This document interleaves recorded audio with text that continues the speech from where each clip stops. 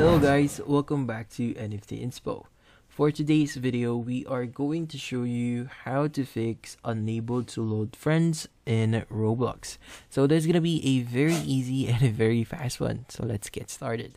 So the first thing that you want to do here is you want to go to roblox.com and access your account.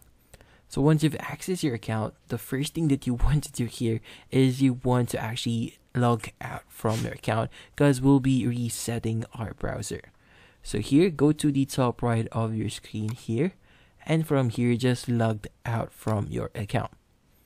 So once you're logged out of your account, you want to click on the three dotted icon at the top right of your browser. And from here, you want to go to settings. Under settings, you want to go to the section under privacy and security. Under privacy and security, you want to go ahead and go to cookies and other site data. And here you want to scroll down a bit until you see the section that says see all site data and permissions. And here you want to look for Roblox. So once you've seen or located Roblox here, you just need to click on the trash can icon next to Roblox or in the same row as Roblox here.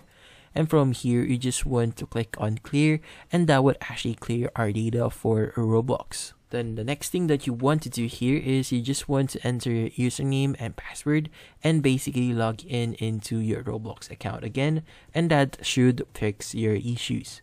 So hopefully this video was able to help you. Like and subscribe to NFT Inspo. Thank you for watching.